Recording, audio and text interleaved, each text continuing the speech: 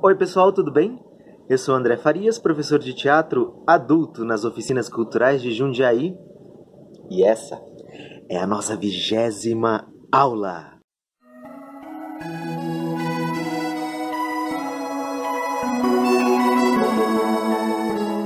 E nessa aula a gente vai continuar falando sobre o palhaço. Claro, tem muito a dizer sobre essa pessoa, esse ser, essa energia que pula, que pulsa, que está dentro da gente, que interage, que não morre, que vive, que faz rir, chorar, que é poético, que é crítico. É tanto para dizer desse palhaço que hoje a gente vai continuar falando dele.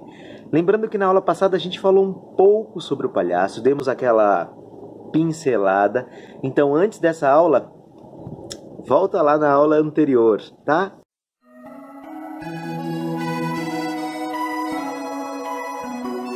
E aí? E aquela questão? Quem é você? Conseguiu pensar sobre isso? Por que, que eu estou perguntando isso? Porque o palhaço é você. É você expandido? É você retraído? Ainda mais hoje, né? Quem sou eu? Dentro desse momento que a gente está vivendo. E relembrar um pouquinho o que eu falei na última aula, que existem diferentes palhaços. Melancólico, romântico, bufão, Trump, mendigo.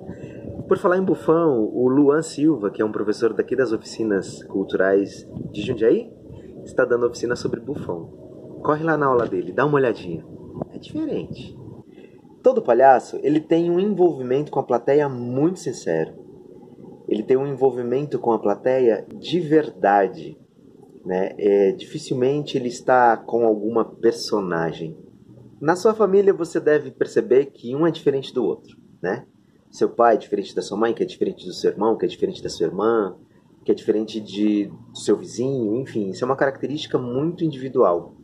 E o palhaço carrega isso. Só que na palhaçaria a gente fala muito de dois, que é o Branco e o Augusto, que é para justamente ter esse jogo entre esses dois palhaços e que cause riso na plateia. Muitas vezes choro, muitas vezes, meu Deus, eu já me vi nessa situação e agora ele está ridicularizando isso, né?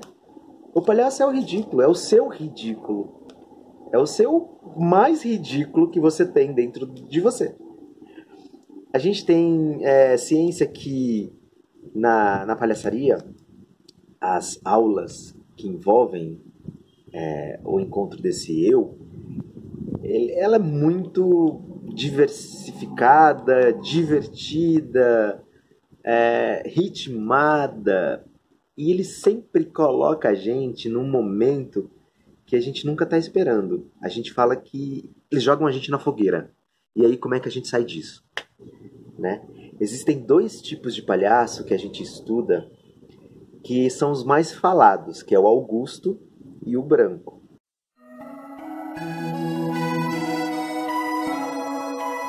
É o tipo mais conhecido no Brasil. É extravagante, absurdo, pícaro, mentiroso, surpreendente, provocador. Representa a liberdade e a anarquia, o mundo infantil. É desajeitado e desastrado, tornando sua ação desajeitada e deselegante. É inoportuno em sua tentativa de socializar-se, mas acaba por conquistar com sua simpatia e brincadeiras. Já viu alguém assim? Já viu algum palhaço assim? Diversas lendas coincidem a fazer nascer o palhaço no circo Heinz de Berlim em 1865. Encarnado por um tal Augusto, um moço de jeito enfadonho e beberrão, de onde vem o nariz vermelho. Diz a lenda que ele era um criador de cavalos, e um certo dia como era alcoólatra, entrou no palco bêbado. Como as pessoas na Europa costumam ser muito brancas, quando bebem, avermelham o nariz e as maçãs do rosto. Muitas vezes que deriva-se daí o nariz vermelho e a maquiagem. É esse o espírito do Augusto, brincalhão, e que faz bastante algazarra.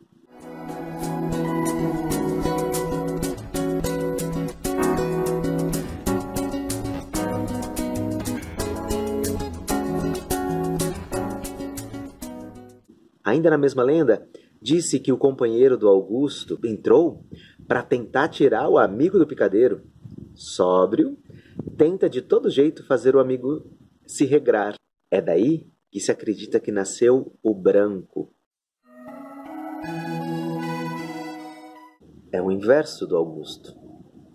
Também chamado de cara branca, pierrot, enfarinhado, esperto ou sério.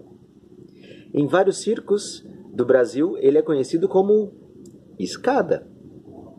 O tipo nasceu na Inglaterra em meados do século XVIII, costumava aparecer maquiado de branco e vestido num elegante vestido brilhante. Seus trajes são seu grande diferencial, já que sua elegância revela um clown aristocrata, que, quando contracena com outros palhaços, toma o controle da situação. Você já viu algum palhaço assim?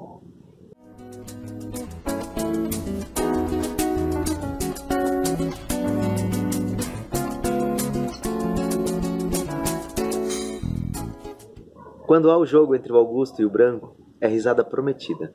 Isso vem surgindo conforme você vai se descobrindo, fazendo as aulas, fazendo os cursos de palhaçaria. E o mais interessante é que também, além de você perceber que você pode ser o Augusto ou o Branco, você também começa a entender sobre maquiagem, sobre figurino. A gente tem na hoje em dia, muitas maquiagens. A gente tem como a gente exercitar essa maquiagem em casa. Por exemplo, minha sobrancelha era muito grande, sempre foi, né? A minha bochecha sempre foi muito para frente. Então, a minha maquiagem de palhaço, eu exagero na sobrancelha. Para maquiagem do palhaço, você pode usar várias coisas. Só não usa pasta de dente, que uma vez eu usei e foi bem desastroso. Arde demais. Tem uma pasta que se chama Cloud Makeup, de várias marcas, tá?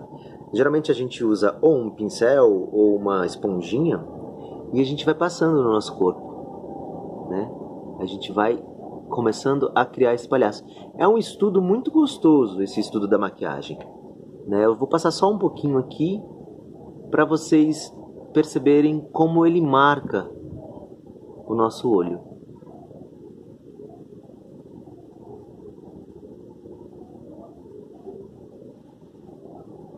Claro que tem uma, uma certa sequência, tá? Eu começo fazendo a sobrancelha.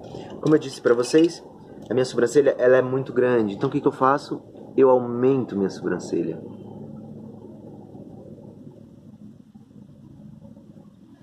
Tem gente que nem mexe na sobrancelha.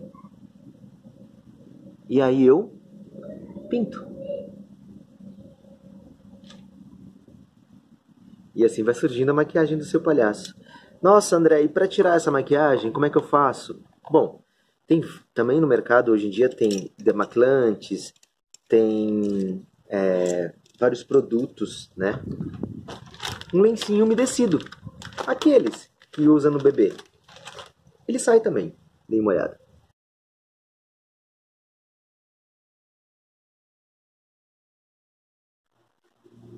O legal é você se divertir.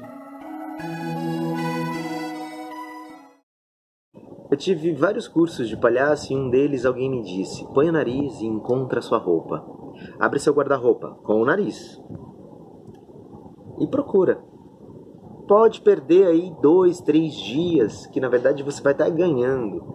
E todos os dias você vai encontrando uma peça e compondo seu palhaço. Aproveite esse momento que você está em casa para estudar mais sobre eles. Você pode procurar Relia, Carequinha, Carlitos, Bozo, Tiririca, Torresmo, Patati Patatá, Piolim, enfim, são diversos palhaços que estão aí para você assistir, para você aprender, para você colocar o seu lado crítico. Gosto, legal. Tem o Circo Vox, que é o circo que eu trabalho, que a gente tem vários espetáculos na internet, vários trechos de espetáculos na internet. Dá uma olhadinha lá, ah, o palhaço ele tá sempre aí, disposto e aberto para trocar, para interagir, sem medo de ser feliz. Les quatre Rudy Lata.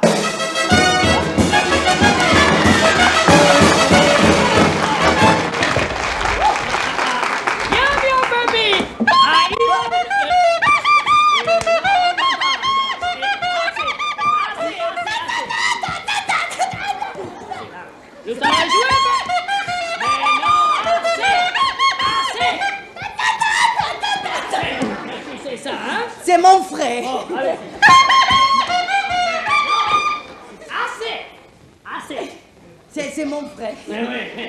Allez, prends la guitare, baby. Écoute, je, je fais la présentation. Et voilà. Les, les morceaux de musique que nous allons... Eh no, yo solito. Allez, baby. C'est mon frère. Madame, maman.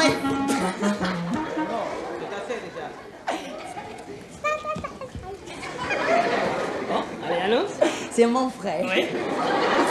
Madame, mademoiselle, monsieur, et maintenant nous allons jouer une sélection de... C'est mon frère. Une sélection de musique moderne, Et voilà. américaine. Et voilà, c'est ça. Allez, prends la guitare, baby. Allez. Faites attention, les saxophones, hein Et voilà. Alors, ça y est Attention,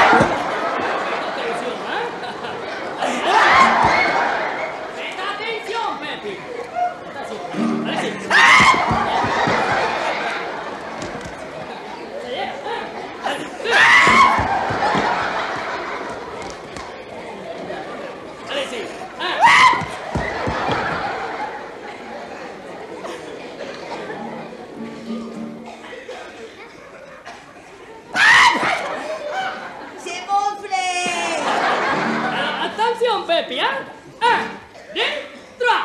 Quatre. Alors, trois seulement et commence, hein Un, deux, trois.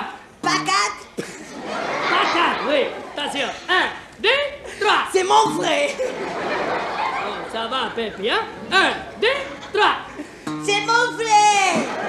Ça va. Un, deux, trois. C'est ma soeur. Mais non Hein? Non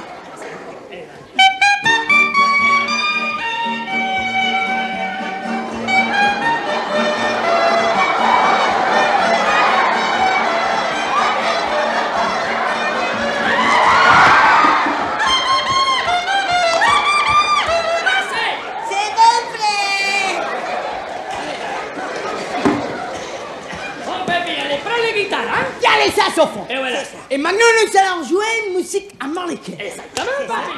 Allez-y. Merci. Alors, ça y est, Papi? Oui. Attention. Allez.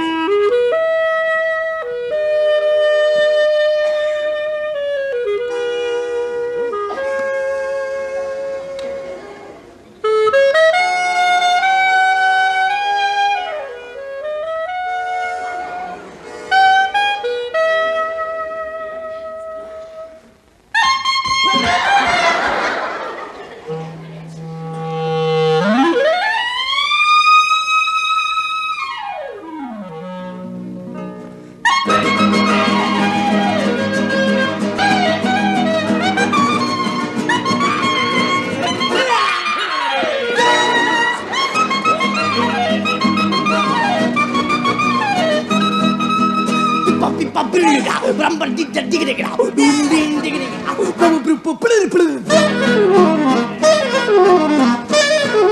ha ha!